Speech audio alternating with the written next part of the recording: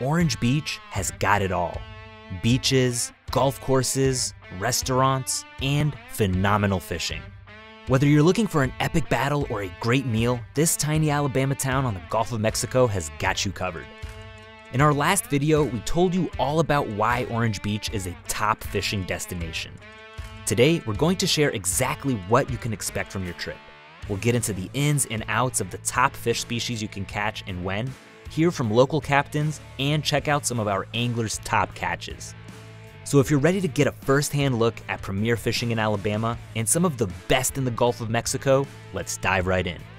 But before we do, be sure to hit the like and subscribe buttons below to watch more videos about the hottest fishing spots around the world.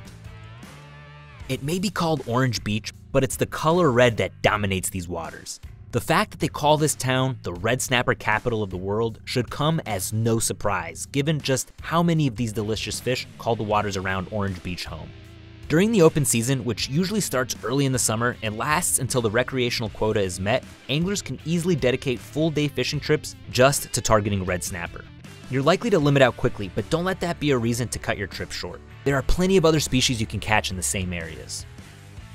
Alabama is home to the most extensive artificial reef system in the US, and alongside the red snapper that live here, you'll also find a variety of grouper. Gag grouper are a common catch in the late summer and early fall, and you can also count on coming across red and scamp varieties. Much like snapper, grouper are subject to open and close seasons in Alabama. For more information on that, you can check our extensive blog article or consult the Alabama Department of Conservation and Natural Resources website. We also have to give an honorable mention to triggerfish. You could drop a line for these bottomfish during the spring or fall open harvesting seasons. And not only are they delicious, but they make for a great target for anglers of all skill levels. So if you're fishing with kids, make sure to add this diamond-shaped species to your target list. If you're looking for more action though, it's time to head even further offshore. It's going to be a trek, but we can promise it's worth it. If you're after yellowfin and blackfin tuna, the fishing starts getting good around the 75 mile mark. This is where you'll find many of the Gulf's deep water oil rigs, and overnight trips are the go-to choice for serious anglers in search of tasty rewards. Tuna seasonality and their presence in Alabama's waters in general has been up and down over the years, so be sure to check exactly what fish are biting before booking your trip. The cutoff rigs are also home to mahi-mahi and wahoo and even big billfish on occasion. So if tuna aren't on the cards, you can get in on some incredible action. Alternatively, the rigs around 60 miles out are another great spot to get your limits of snapper and grouper or battle it out with big kingfish and hard-fighting amberjacks. To take advantage of these remote and far out areas, make sure you're gearing up with a knowledgeable local captain with a good GPS system. Many of the oil rigs around Alabama are cut off and exact coordinates will make your journey much smoother.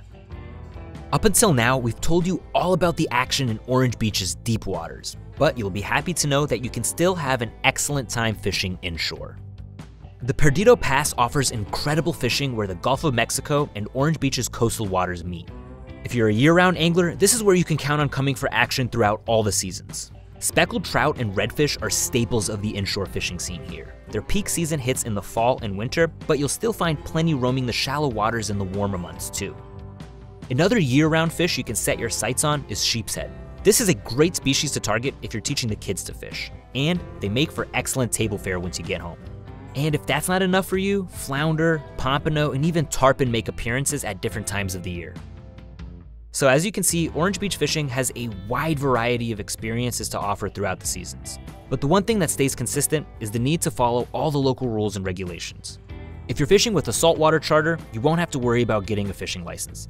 Otherwise, all the anglers between the ages of 16 and 65 need to buy one before heading out. If you're looking for more information on getting an Alabama fishing license or you're curious about which one is the best choice for you, you can always check out our full blog article. Fishing seasons and harvesting limits are pretty liberal in Alabama, but it's still important to make sure you're respecting dates and numbers. The easiest way to do this is by heading out with a local captain. They'll make sure you're staying in line with Alabama's fishing regulations so you can focus on what you do best fishing. So if you're about ready to find and book your Orange Beach fishing trip, you're in the right place. Fishing Booker offers the largest selection of fishing charters in Orange Beach, so you can search, compare, and book your fishing trip either by downloading the Fishing Booker app from Google Play or the App Store, or by visiting fishingbooker.com. With hundreds of local guides, verified reviews, and hassle free online bookings, you'll save time and money and experience an exciting day on the water.